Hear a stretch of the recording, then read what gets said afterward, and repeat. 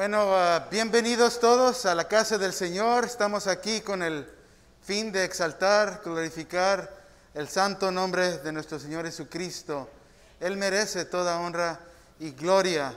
Y la Biblia dice, entrad, ¿verdad? Adorarle con gozo, con alegría. Uh, en el Salmo 100 nos dice eso. Vamos a orar para pedir que Dios bendiga este servicio, que esté con aquellos que no pudieron estar y que el Señor uh, siga dirigiendo, bendiciendo a su iglesia. Padre Santo, gracias por permitirnos estar aquí en tu casa de oración. Padre, gracias porque, Señor, sabemos que estás aquí con nosotros y entre nosotros aquí, Señor, en esta mañana. Te pido, Padre, que bendigas este servicio, Padre, por aquellos que están mirando este servicio. Señor, por uh, uh, esta tecnología, Padre, te pido que estés con ellos. Te pido que ellos uh, sean bendecidos por tu palabra, los cantos, que todo, Señor, sea para tu agrado. Una vez más, bendice a tu iglesia, Señor, en estos tiempos difíciles, Señor, llenos de pruebas, dificultades. Bendice a tu iglesia grandemente por todo. Te lo pido en el precioso nombre de Cristo Jesús. Amén y amén. Amén. Con gozo y con alegría. Canta fuerte con nosotros. Señor, aquí estamos para.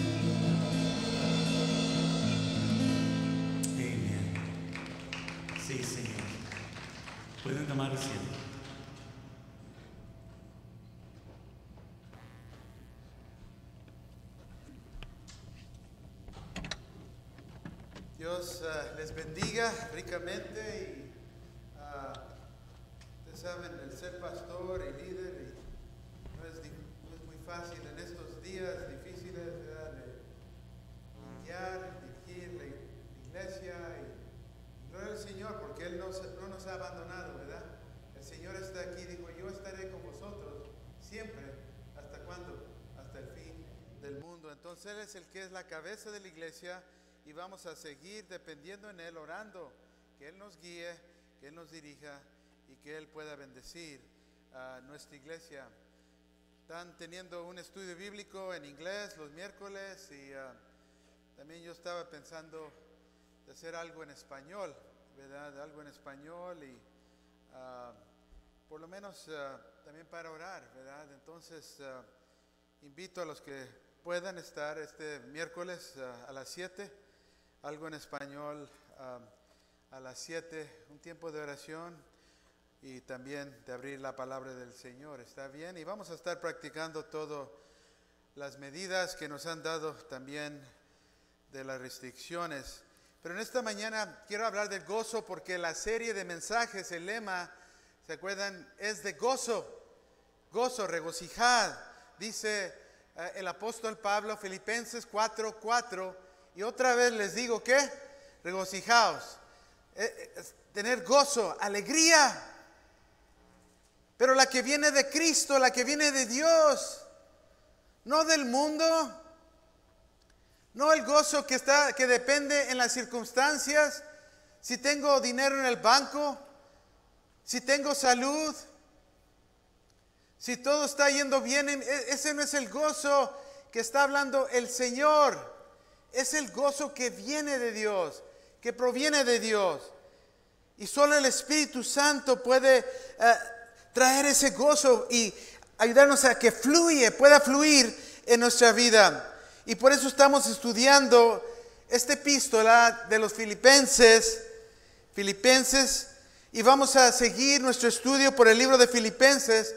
La semana pasada miramos el versículo 1 al 8. Hoy vamos a estar mirando del 9 al 11. 9 al 11. Vamos a pasar por todo ah, este libro, epístola que el Señor tiene para nosotros.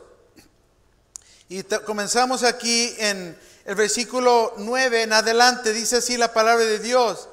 Y esto pido en oración. En oración. Qué hermoso. El apóstol Pablo dice eso, que vuestro amor abunde aún más, que pueda crecer, que pueda ser un amor profundo, no de ese artificial que de vez en cuando nosotros mostramos en nuestra vida, ay te amo y, y sabemos que no es de de veras. Un amor profundo, un amor verdadero. Y dice, y más en ciencia y en todo conocimiento, para que aprobéis lo mejor, a fin de que seáis sinceros e repre- reprensibles para el día de Cristo, cuando un día vamos a estar delante del Señor Jesucristo y tenemos que rendir cuentas. ¿Llenos de qué? De frutos de justicia que son por medio de Jesucristo. ¿Para qué? ¿Con qué fin? Este este es el punto aquí. ¿Con qué? Dice aquí para gloria y alabanza de Dios. E- Ese es nuestro fin como eh, en esta vida como creyentes. De traerle gloria al Señor, de traerle honra al Señor. Y la pregunta es si estás trayéndole al Señor honra. Por medio de tu vida, a través de tu vida. Y aquí Pablo, ¿verdad? El, el mensaje de esta mañana es orar. Orar para que el Señor sea honrado a través de nuestras vidas. Que Él sea honrado, que sea glorificado por mi vida. Esa es la pregunta, es lo que Pablo está hablando con nosotros en esta mañana. Entonces vamos a mirar aquí unas tres cosas que el apóstol Pablo nos dice. Oremos, Padre Santo, te pido, Señor, que nos ayudes, Padre, a ser individuos que te están trayendo a ti gloria y honra. Por eso estamos aquí en esta vida, no para, Señor, construir y edificar nuestra propia vida y para nuestra propia gloria, pero estamos en esta vida como tus hijos y tus siervos para traerte a ti honra y gloria, Padre. Te pido que alguien en esta mañana, alguien a través de este medio de, de tecnología, Señor, pueda entender eso. Te pido, Padre, que nuestras vidas puedan traerte honra y gloria en Cristo Jesús. Amén. Amén. Miren qué oración. No es nomás cualquier oración aquí que nosotros miramos en estos uh, versículos. ¿Verdad? Me acuerdo que una vez hace muchos, muchos años uh, en una iglesia que estaba pastoreando, era el tiempo de oración y comenzamos con las peticiones. Yo no sé por qué comencé yo a enfocarme en la oración de esta familia. Y, no van a decir, ah, el hermano va a estar mirando. Pues soy el pastor, ¿verdad? Y, y pues en esa ocasión estamos pidiendo peticiones y, y me acuerdo que eh, el hermano dijo, yo, yo quiero que oren por mi familia, por mí, por mi esposa, mis hijos. Y nos, ¿verdad? E, eso fue lo que mencionó. Muy bien, ¿verdad? Lo estamos anotando. Y, y en esa oración él oró. Y él oró por lo que él había pedido, ¿verdad? Que estaba bien uh, por él, por su esposa y sus hijos. No hay ningún problema con eso. Pero eso fue lo que oró. La siguiente semana otra vez estamos pidiendo por peticiones y otra vez, hermano, y dijo, hermano, yo pido oración por mí, mi esposa y mis hijos. Está bien. Y hermanos, la tercera semana, otra vez, hermano, ¿qué, qué quiere pedir? Y otra vez lo mismo. Y no es que yo sea, esté yo criticando a alguien, pero yo, yo dije, me comencé a notar, el hermano, ¿verdad? siempre está enfocado en, en, él, su esposa y sus hijos. ¿Cuándo va a compartir algo de otra persona, de otro individuo?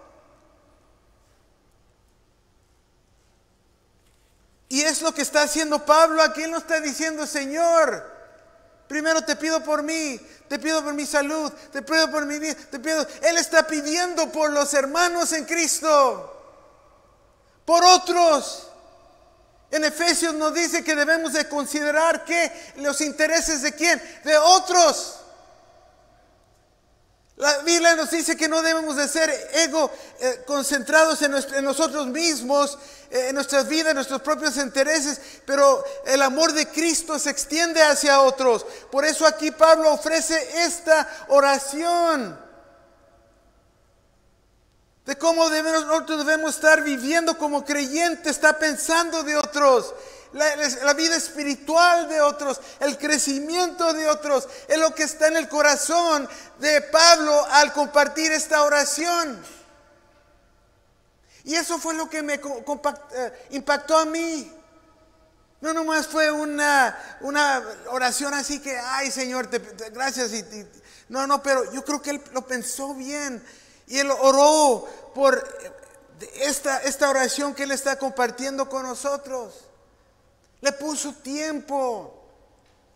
Nosotros no somos, somos, eh, formales así en esta iglesia que yo vengo y le leo una oración como una, unas iglesias son uh, muy formales en muchas cosas. Pero de vez en cuando, ¿qué tiene lo mal con escribir una oración ahí? Que el Señor me hable y yo escribo esa oración. Yo creo que le puso mucho pensamiento Pablo a esta oración. Y aquí él comienza en el versículo 9 y dice, y esto pido en oración. Y ya el, versículo 4, ¿se acuerda? Dice, en el versículo 4 dice, siempre en todas mis oraciones, rogando con gozo por todos vosotros. Siempre estaba orando por ellos, por otros. Y dice aquí que, y esto pido en oración, que vuestro amor abunde más y más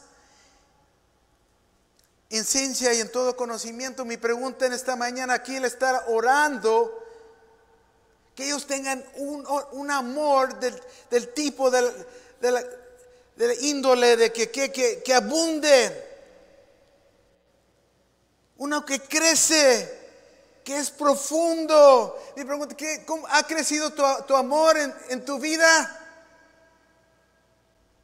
Piénsalo, en hace 10 años, ¿ha crecido tu amor de 0 a 10? ¿Cuánto ha crecido tu amor? ¿Cuánto ha crecido tu amor? Ese amor debe de fluir, debe de caminar, debe de eh, engrandecerse a través de impactar nuestra vida total. Yo debo de amar a, mi esposo, a mi esposa más y más y más. Si soy creyente, este amor de Cristo debe demostrarse porque tengo un amor hacia el Señor. Ese es el gran mandamiento, amarás a Dios con todo tu ser, con toda tu mente. Con todo ama a Dios. Y luego qué? A tu prójimo, a otras personas. Ay, pues yo amo a Dios, pero no, los, no, no amo a otros. Eso no puede ser. El amor verdadero, el amor de Dios busca en profundizarse, en ser más profundo, en ser, crecer. Mi amor hacia Dios debe ser más grande que, que tuve yo hace 10 años, o hace 20 años, o hace 15 años. Ahora en el presente debe ser más profundo mi amor hacia el Señor y también hacia otros. Yo ya tengo 5 años de ser el pastor titular y un mes. En junio, hace 5 años, cumplí 5 años ser pastor aquí. Y yo creo que sí, mi amor ha profundizado más hacia mis hermanos en esta iglesia. Y ojalá que también los hermanos hacia mí como el pastor. Porque yo nunca pensé que al llegar y tener el título, que todo el mundo iba a inmediatamente, ¿verdad?, confiar en mí. Se debe ser así, ¿verdad? La Biblia dice que sí, obedecer a vuestros pastores. Pero yo creo que también se tiene que ganar ese respeto, ese tiempo, a través del tiempo. El amor va profundizándose. Es lo que eh, el apóstol Pablo está aquí, es un amor activo. No nomás está ahí estancado ese amor, ahí parado, ahí, uh, no, es un amor que toma acción. Muestra por las acciones. Estaba hablando alguien esta semana pasada de la idea de si alguien, una persona está enfermo o enferma, de la idea de llevarle una comida, por lo menos de anotar aquí en nuestra iglesia, ¿verdad? De lunes a viernes, por, ejemplo, llevarle una comida a esa persona enferma. El coronavirus es, es esta situación ahorita está afectando muchas familias. Pero ¿cómo puede la iglesia ahora en este día uh, ministrar a otras personas? Pues yo me puedo anotar, pónganme ahí para el lunes, llevarle una comida, una cena, la puedo poner ahí, decirle ya voy a venir, la voy a dejar enfrente de su puerta, Dios le bendiga. Adiós, qué bonito, ¿verdad? Otra persona dijo que de mandar una, una carta, una tarjeta, ¿verdad? Una persona que quizás está desanimada, una persona, todos de la iglesia debemos de hacer eso. Yo voy a ir a la tienda, voy a comprar unas tarjetas y voy a escribirle a hermanos y hermanas que no he tenido compañerismo por el coronavirus, pero yo puedo enviarles una carta. Mucha gente le gusta todavía recibir una carta. Tenemos toda la tecnología, tenemos computadoras, tenemos teléfonos, todo electrónico y todo. Pero todavía hay gente que le gusta recibir una carta, una tarjetita. ¿Quién, quién no puede comprar eso? Y ojalá que en uh, unas semanas vamos a tener ese directorio, ya, ya al día espero tenerlo, esa es la meta aquí. Hemos estado hablando de eso mucho, pero ojalá que ya, así usted tiene ya todas las direcciones de los hermanos, escribe ahí al hermano, a la hermana y, y los comienza a animar en el Señor. Es un amor activo.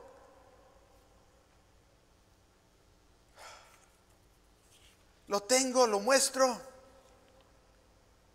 No es una opción. Ah, bueno, si quiero hacerlo, lo hago. Si no, si no me da la gana. No, no es una opción. Es, es algo que Dios espera de nosotros.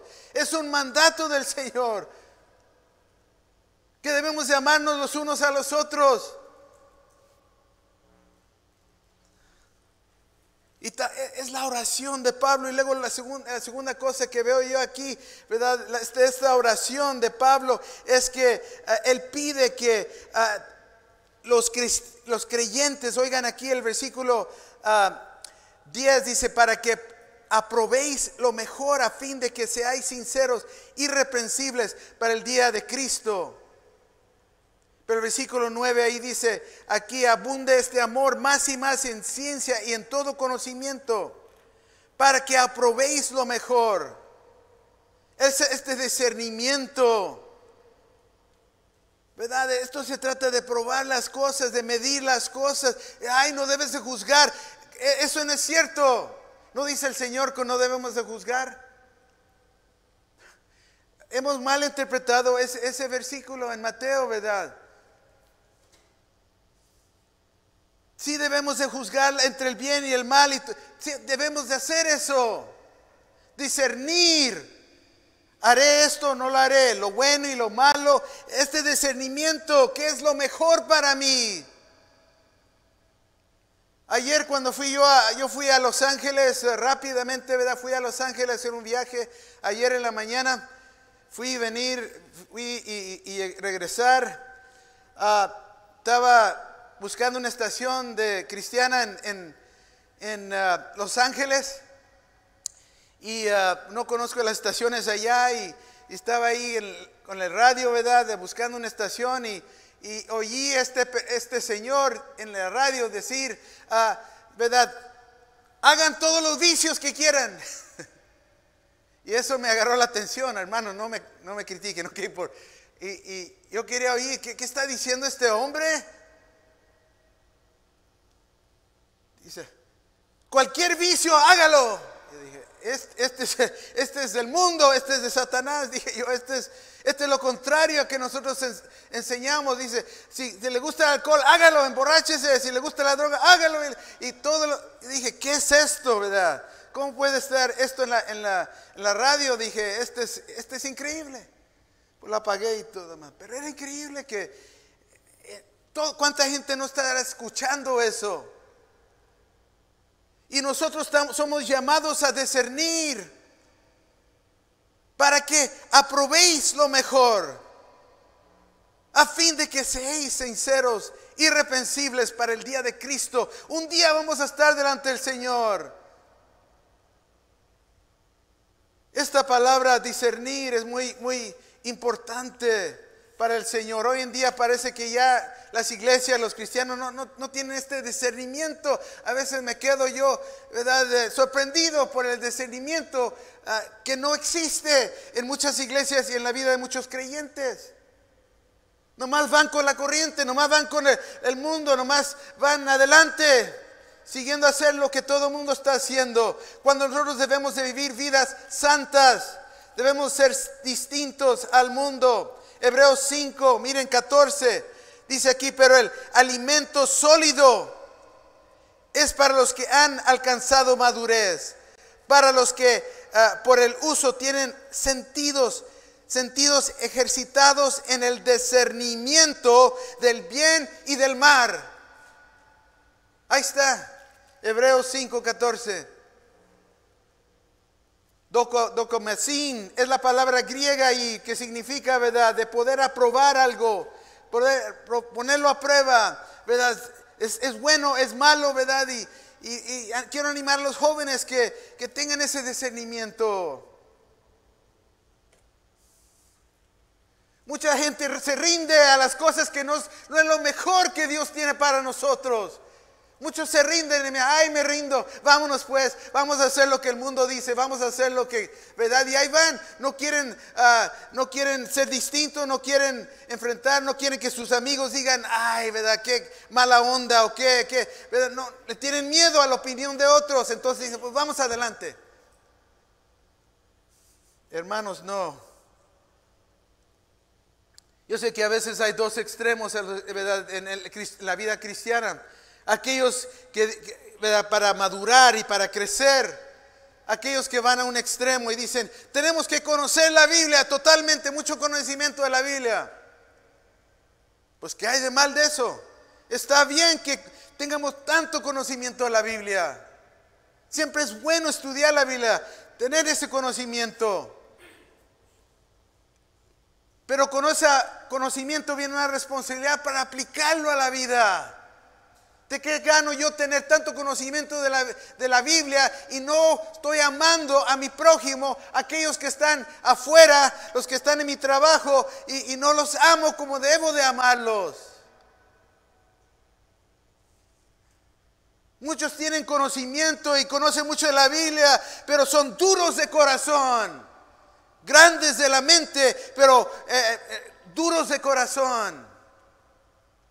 Y el otro extremo, el otro lado, es aquellos que ah, van mucho en lo que sienten. Ay, siento esto, siento lo otro. Pero la Biblia dice tal cosa. No, pues yo me siento así. Yo se, se van mucho al emocionalismo.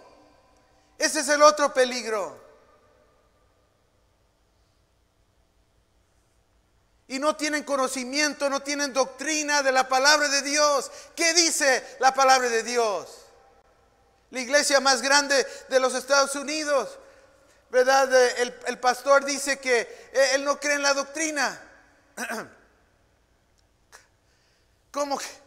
La doctrina es la enseñanza de la palabra de Dios. ¿Cómo que no cree en la doctrina? Dice, tenemos que tener amor por todos, tenemos que tener... Está bien, pero tenemos que saber lo que honra al Señor, lo que le agrada al Señor. Yo tengo que estudiar y conocer doctrina bíblica sana de la palabra de Dios.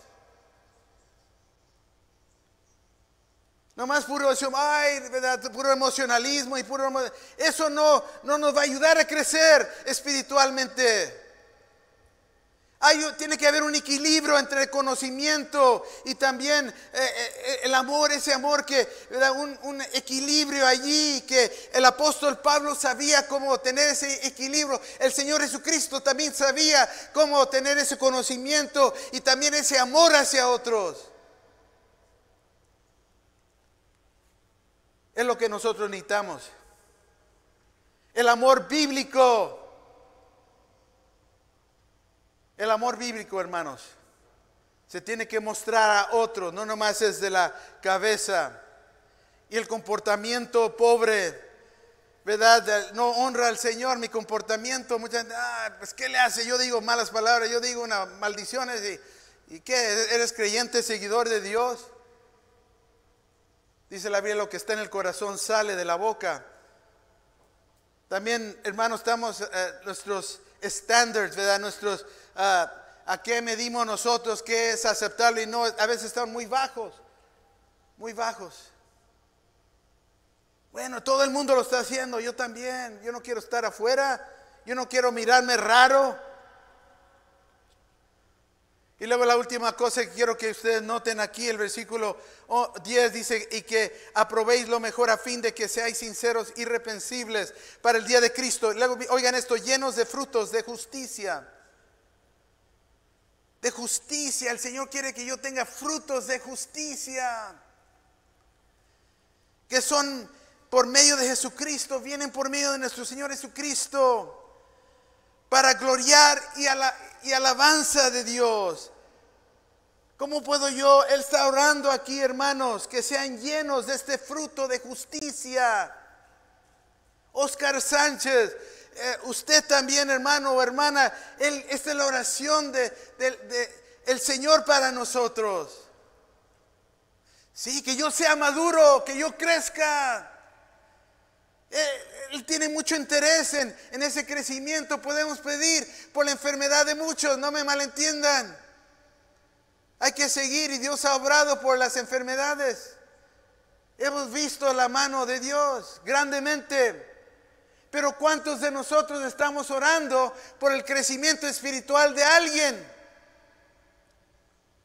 El nuestro y luego también de otros. Pablo estaba preocupado de eso.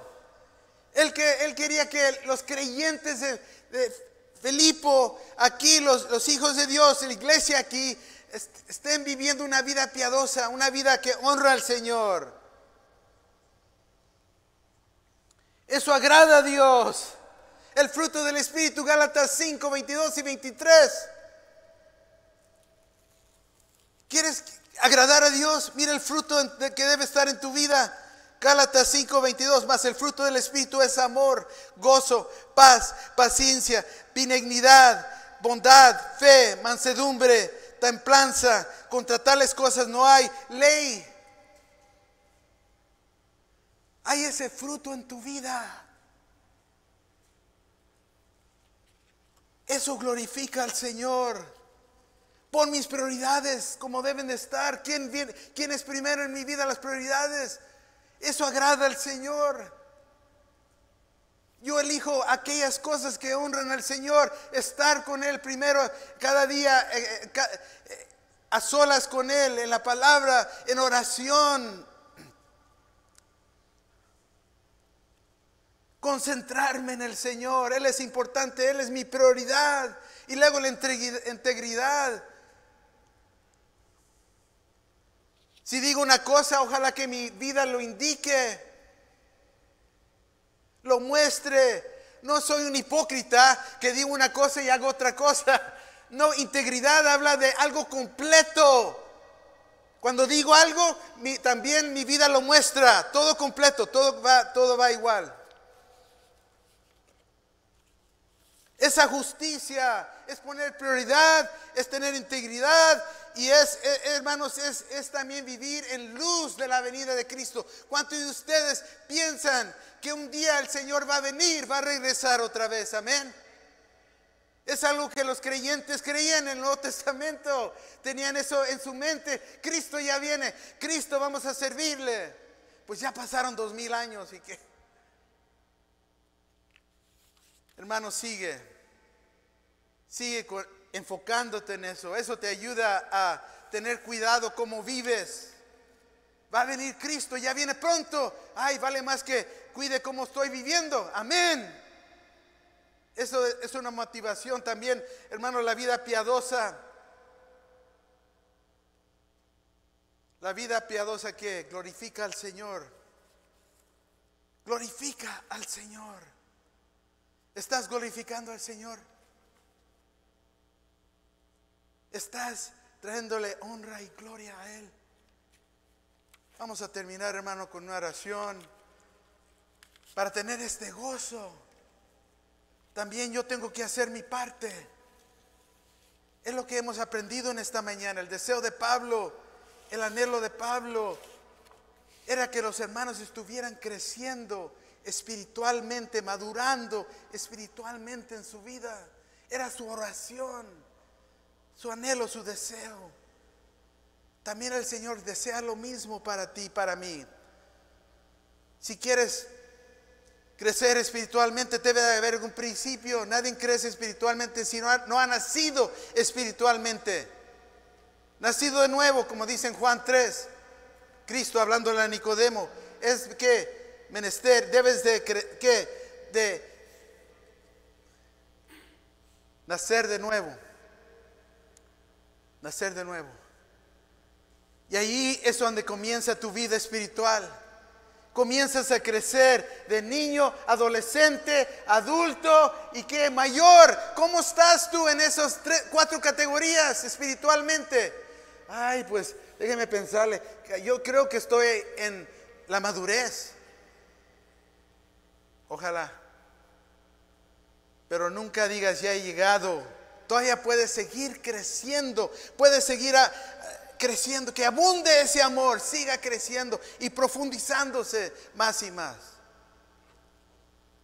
Oremos. Padre Santo, gracias por tu palabra, gracias Señor porque hemos escuchado tu mensaje, Señor, aunque estamos pasando por momentos difíciles en la vida. Gracias Señor porque tu palabra, el cielo y la tierra pasarán, pero tu palabra no pasará, no terminará, continuará para siempre Señor. Gracias por eso, gracias por eso. Y también Señor, ayúdanos Señor hablarle a la gente de Cristo a través del teléfono, a través, Señor, ahorita en estos momentos de otros medios. Porque esas dos cosas van a permanecer para siempre, tu palabra y almas. Almas eternamente van a vivir para siempre, para siempre, Señor. Te pido que estemos dedicados a esas dos cosas, tu palabra y a alcanzar almas para Cristo, para tu gloria y para que conozcan a Cristo y la vida eterna. Bendice a tu iglesia, Señor. Bendícenos salir de este lugar y, y comenzar, Señor, a vivir por ti grandemente y gloriosamente para que tú recibas el honor y tú recibas la gloria y la honra y todo, Padre. Te lo pedimos en el precioso nombre de nuestro Señor Jesucristo. Amén y amén. Hermanos, estamos despedidos. Dios les bendiga. Sigan orando por nuestra iglesia. Estamos despedidos. Gracias.